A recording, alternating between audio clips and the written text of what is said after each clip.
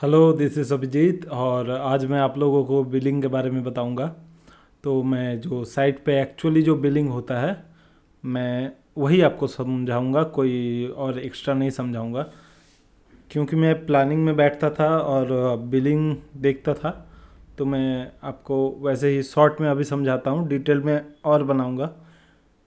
तो सबसे पहले बता दूँ कि बिल में दो चीज़ें होती है। एक होता है आपका मेज़रमेंट सीट जो कि फ्रंट में रहता है, और दूसरा रहता है आपका जो बैक का वैल्यू रहता है, जो वेरिफिकेशन के लिए काम आता है। एक्चुअल में जो हम लोग को वेरीफाई करना है, वो सही है कि नहीं मेज़रमेंट वगैरह या तो उसी से हम लोग करते हैं। तो इसमें फुल डिटेल्स दिया रहता है। जैसे ये एक अर्थवर्क का बिल है। ये इस चैनल से इस चैनल मतलब ये समझ लीजिए एक डेट का, एक मंथ का बिल है। और उसका चैनेज यहाँ से यहाँ है, यहाँ से यहाँ है, समझ लीजिए। चैनेजेस दिया रहता है फ्रॉम टू वो कुछ भी हो सकता है। फिर कौन सा साइट का है? आर एच एस है एल एच एस है, क्या है आइटम क्या है? इम्बैकमेंट है, अथवा का काम है। अब लेयर वाइज बिल होता है। जैसे मैंने वीडियो में समझाया है कि काम लेयर वाइज होते हैं। लेयर वाइज होते हैं। अब R F I number R F I क्या होता है? आर एफ़ आई होता है, आपका जो इनके भी जो क्लाइंट होते हैं, वो जब इंस्पेक्ट करने आते हैं, उसके लिए होता है। तो आर एफ़ आई के बारे में मैं डिटेल में और बताऊँगा।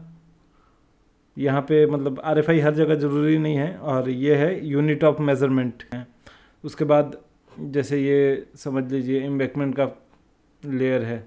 लेंथ कितना है इसका? 150 मीटर किया है। विथ कितना है?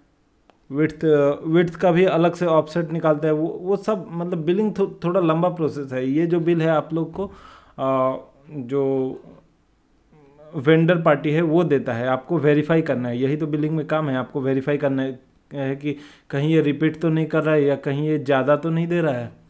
तो जैसे कितना लेंथ किया है 150 मीटर किया है, उसका विड्थ कितना है टो ऑफसेट के साथ मिल रहा है कि नहीं, कहीं एक्स्ट्रा या कम तो नहीं किया है, वो देखना पड़ता है। फिर थिकनेस आप जानते हैं, मैंने वीडियो में भी बताया है प्रैक्टिकल वीडियोस जो है उसमें बताया है कि 200 सौ mm थिकनेस रहता है। तो ये सब मेज़र करके, इन तीनों को मल्टीप्लाई करके इसका टोटल क्वांटिटी आता है। फिर सेंटर ऑफ़ स्ट्रेच है।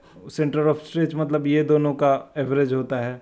उसके बाद borrow area chainage borrow area chainage उसको बोलते हैं जहाँ से मिट्टी लाता है। अगर आप ये सब चीज़ें नहीं जानते तो आप मेरा ज़रूर प्रैक्टिकल वीडियोस देखिए जो मैंने पहले अपलोड किए हैं। पूरे मतलब है उसमें प्रैक्टिकली है कि कौन सा चीज़ क्या होता है, कहाँ होता है।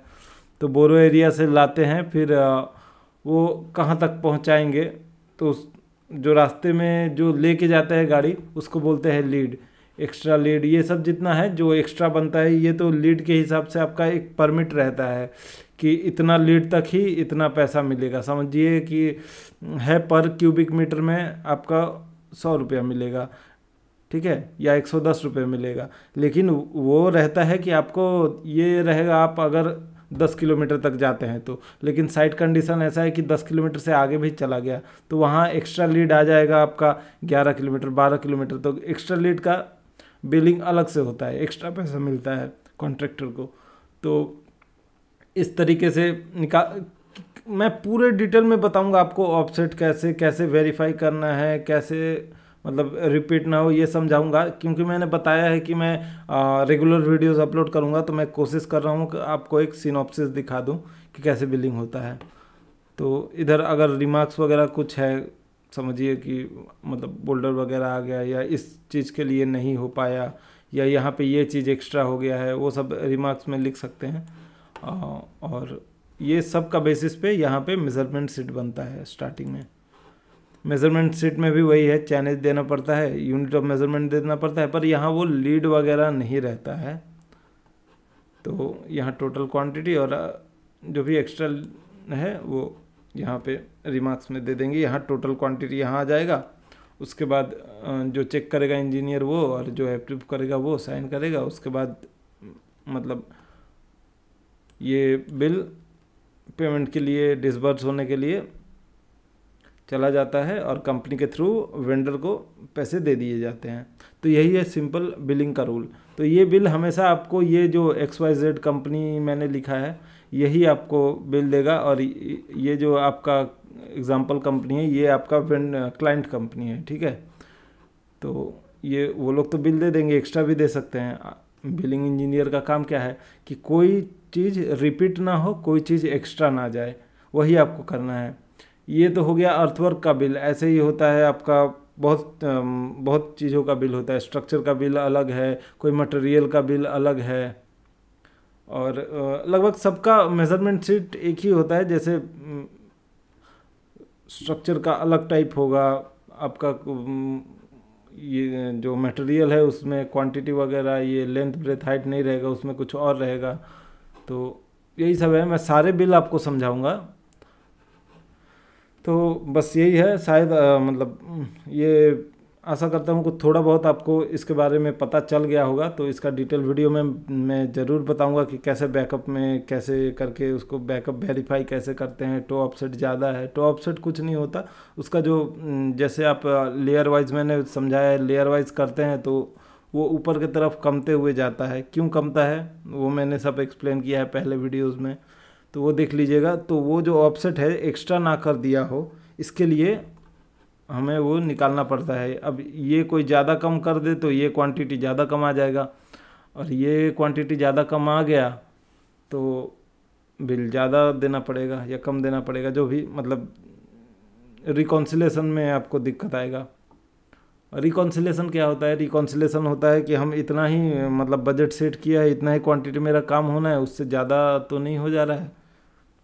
ठीक है? तो उस सब में दिक्कत आता है।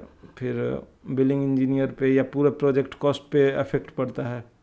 तो यही सब वेरीफाई करना होता है एक बिलिंग इंजीनियर को। और आ, मैं बताना भूल गया। यहाँ आइटम डिस्क्रिप्शन होता है। हर काम के लिए अलग अलग आइटम डिस्क्रिप्शन होता है। प्रोडक्ट के लिए अलग होता है। स्ट्रक्चर के लिए अलग होता है। एक्सकवेशन के लिए अलग होता है। और ये इम्बेकमेंट का ये वाला है। तो तो बेसिकली आप समझ गए होंगे कि बिलिंग इंजीनियर का जनरली क्या काम होता है। तो वीडियोस देखने के लिए धन्यवाद और आगे भी मेरे वीडियोस देखते रहिए और इसका डिटेल वीडियो में मैं मतलब सारी चीज़ एक्सप्लेन करके ज़रूर बनाऊँगा। पूरा वीडियो देखने के लिए धन्यवाद। आपका दिन शुभ हो।